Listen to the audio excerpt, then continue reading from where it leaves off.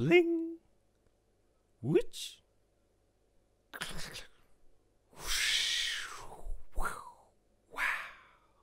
Hi Leute, Tim Soat hier und in diesem Video geht es wieder um Magic the Gathering Commander.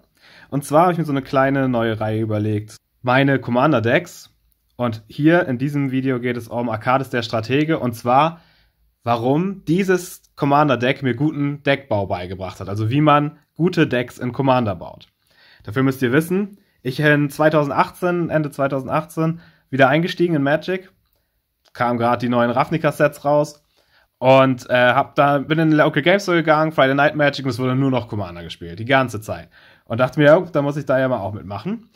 Das Prinzip kam mir auch mega geil vor, ja, 100 Kartendecks, jede nur einmal, schöne Vielfalt, äh, Kitchen Table mäßig, weil ich hatte vorher immer nur Kitchen Table gespielt, nie Standard, nie Turniere.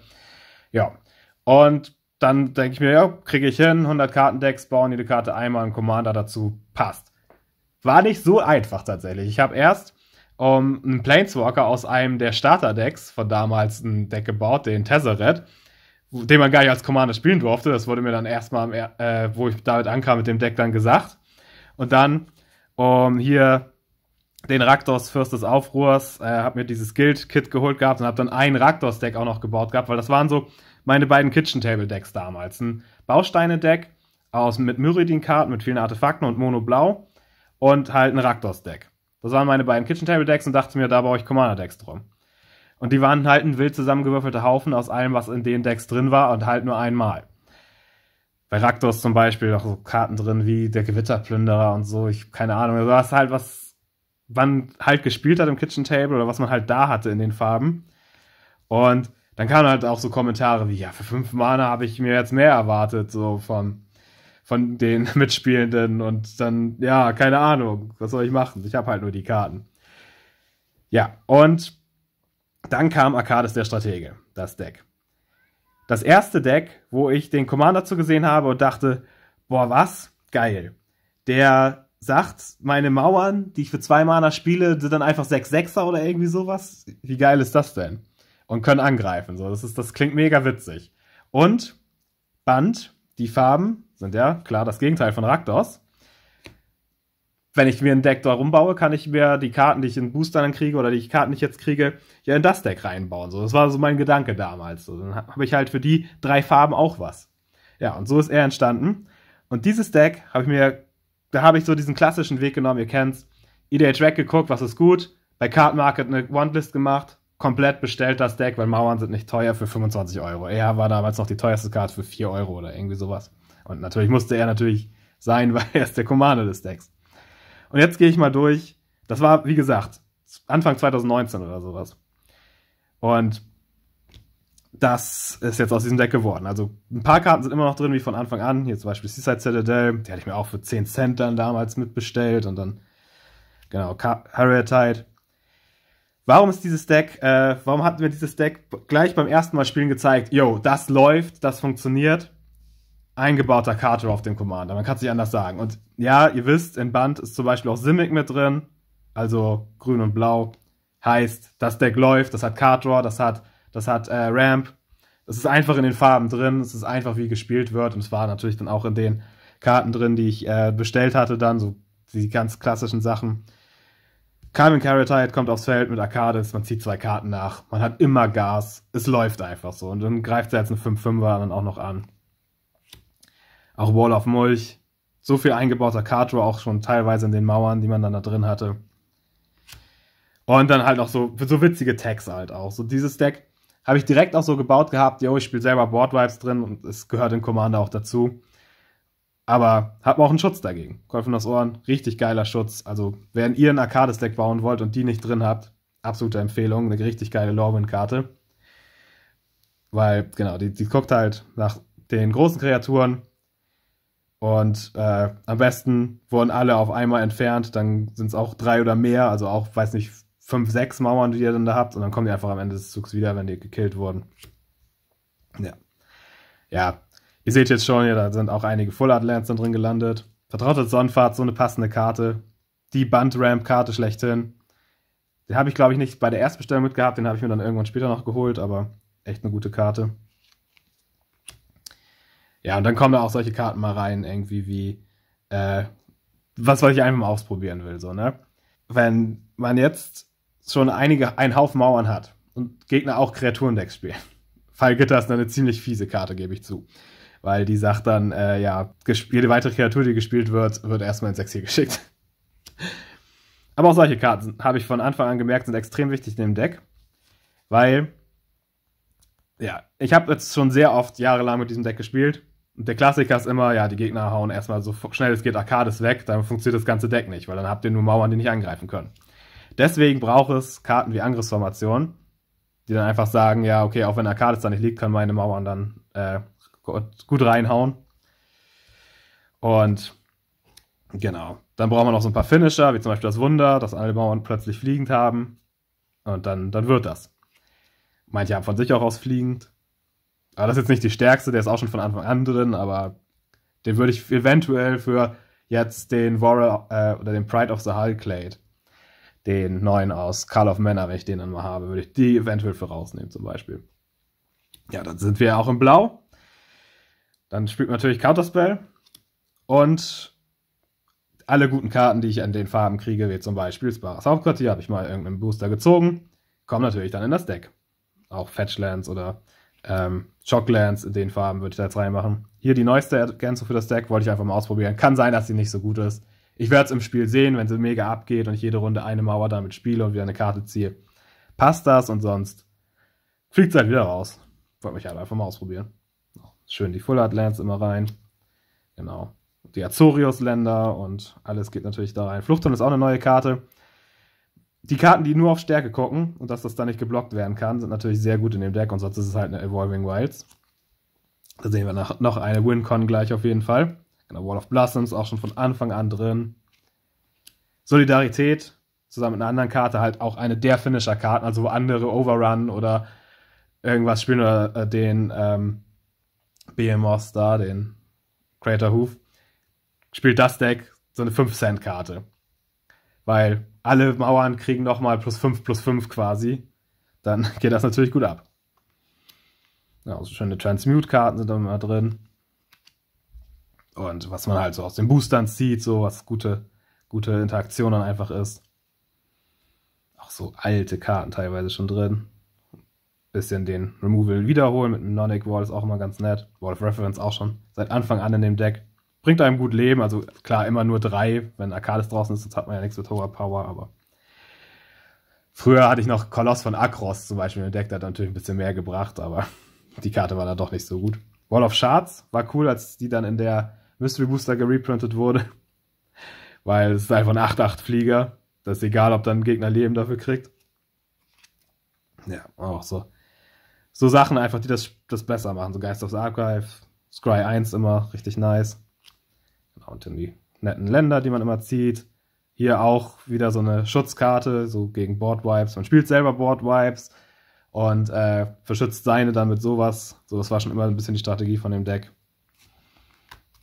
Ja, Länder, Länder. Horn der Mark, auch aus Herr der Ringe ein paar Karten reingekommen.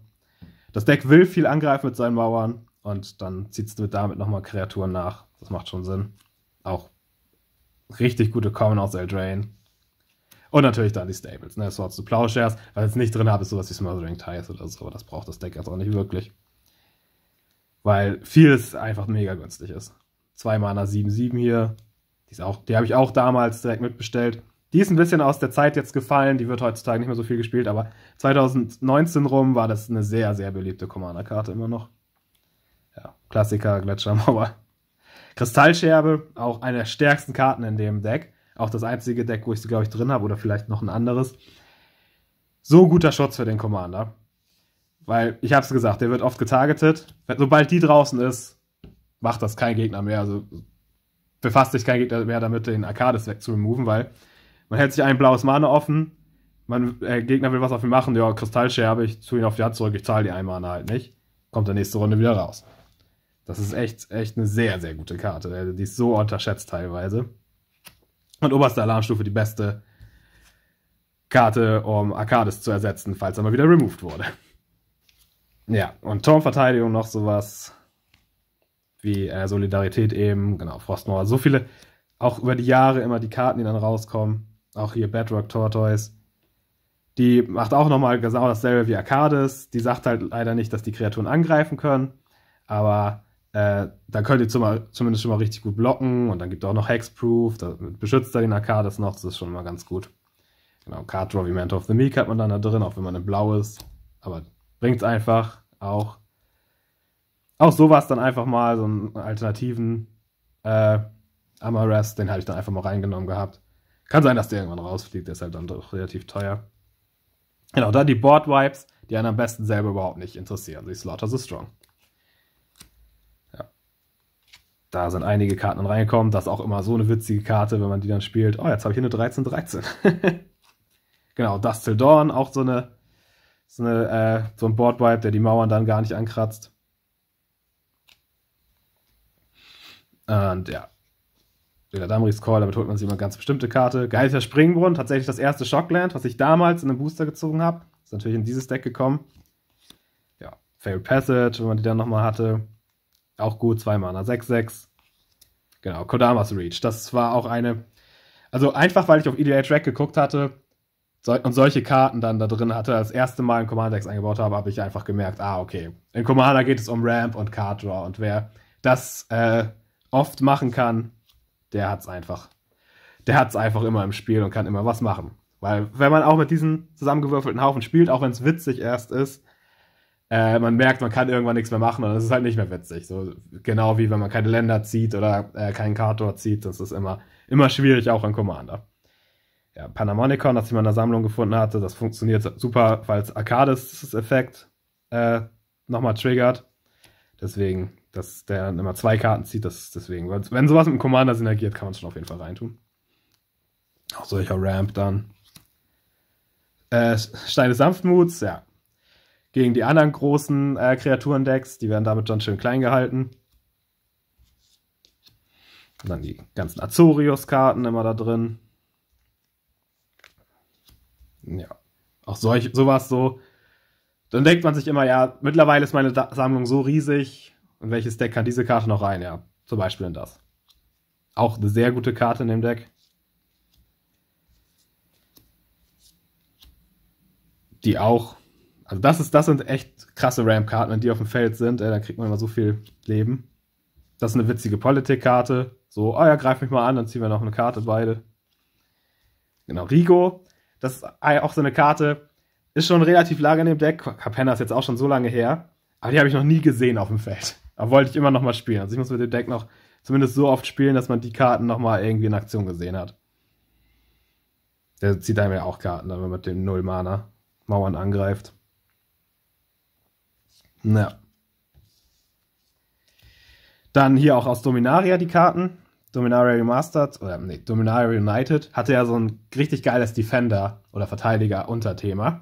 Haben sie sich wahrscheinlich schon gedacht, so, ah, hier, vor, als damals Dominaria oder äh, halt auch M19 rauskam, da haben viele mit Arcades angefangen, dann geben wir denen mal wieder was. So. Und das ist ja auch immer das, wie sie Karten verkaufen. So. Die Leute, die dann dieses Deck noch zu Hause haben, denken sich, yo, ich brauche die Karte für das Deck.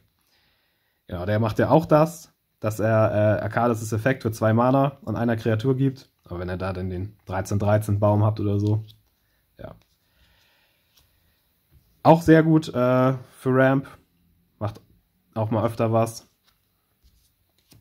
Ja, Wall of Runes auch schon so immer drin. Er hat eine 1 Mana 4-4. Winds of Abandon auch nicht schlecht. Auch einseitiger Board-Wipe. Die ist auch schon immer drin, die Schwebbarriere. Es ist einfach witzig, halt auch so mit Mauern zuzuhauen. Dann, ne? Das ist halt immer in, der, in dem Kopfkino dann immer so ein lustiger Augenblick. Ja, auch schon immer die, die Bounce Lands dann drin gehabt. Halt alle richtig guten Budget-Karten, die aber einfach funktionieren. Das, das war schon immer so dieses Deck, was das hat. So, das ist keine richtig teure Karte drin gewesen, noch nie. Ja. Auch dann einfach mal sowas. Äh, kleiner Beschützer, so man denkt ja, da kann ich Arcades mit beschützen, dann läuft das Deck noch besser.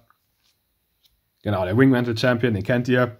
Der dann mit äh, Arcades und den ganzen Mauern oder noch ein Panamonicon. Dann den ganzen 1 als Flieger gratis noch dazu, das ist schon nicht schlecht. Das auch immer so eine krasse Budget-Interaktionskarte. Äh, ja, und dann der klassische Ramp. Cultivate, ja. Das erste Deck, wo ich ein Cultivate drin hatte, da habe ich das dann aus irgendeinem alten Commander-Set noch gekauft, auch für ein paar Cents auf Card Market. Deswegen sind so viele alte äh, Commander-Karten auch noch drin. Aber das, sowas ist halt zeitlos, ne? Ja klar, heutzutage spielt man dann im besten Fall zwei Mana Ramp wie Farseek und ähm, und Three Wizards und Nature's Lore und Rampant Growth die ganze Zeit, aber das Deck hat noch die Möglichkeiten, auch so ein bisschen ETB-Zeug, aber die Karte kann auch nochmal irgendwann rausfliegen. Ja, auch gute Interaktion. Ja. Genau, der ist auch super. Äh, sucht einen dann seinen besten Verteidiger gerade raus, wie man es braucht. Braucht man gerade noch mehr Ramp, braucht man gerade ein richtig starkes Viech. Der ist schon ganz ordentlich. Und das war meistens die Karte, die dann die Spiele gewonnen hat. Die holt man sich dann auch meistens mit Ella Dumry's Call. Ja, Kreaturen mit Stärke 1 oder weniger können nicht geblockt werden. Dann hat man die ganzen 0-7-Mauern da und dann hat man einfach unblockbare 7-7er. Das ist das Spiel ziemlich schnell zu Ende teilweise. Also die Leute, mit denen ich oft spiele, die das Deck kennen, die haben auch immer ein bisschen Angst vor dem Deck halt wegen solcher Geschichten. Weil das ist halt ihnen schon passiert. Das Deck hat auch schon ein paar Spiele auf jeden Fall gewonnen. Auch sehr spannende, teilweise gegen Remasuri-Decks und sowas. Also da ging es schon immer richtig gut ab. Das ist halt ein richtig gutes Budget-Deck einfach und es hat mir einfach gezeigt, worauf kommt es im Commander an.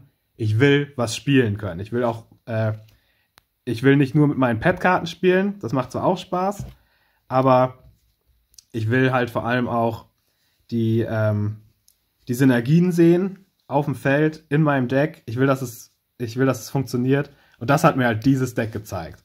Das ist, es hat viele Cent-Karten drin, aber allein durch diese Kombination von ihm und den Mauern allein schon funktioniert es einfach. Und das ist, das ist halt was, was ist, das ist so ein Klick-Moment, den haben dann Leute irgendwann im Commander so, wenn sie sehen, ah, okay, deswegen spielen die Leute die Decks so und so. Und auch wenn man Precon spielt, ah, okay, die Karten synergieren, ah, okay, und Synergien sind mächtig und das macht dann Spaß und dass man dann äh, dieses Wow von den Mitspielern kriegt oder dann auch das Spiel gewinnt im Endeffekt am besten. Das ist halt so dieses, ja, wo man dann merkt, ah, okay, das ist ein gutes Commander-Deck. Und darauf kommt es an bei gutem Commander-Deckbau. Und das ist halt, ja, weswegen die Leute auf EDH Rack gucken, sich die Decks gegenseitig empfehlen, warum so viele YouTuber Commander-Deckbaulisten machen, wo sie dann halt sagen, ja, hier, das und das könnt ihr machen und dann läuft das und wenn es läuft, habt ihr auch Spaß. Ja, das ist halt was, was äh, Anfänger manchmal einfach lernen müssen und ich habe es halt mit diesem Deck gelernt. Ich hoffe, das Video war interessant für euch.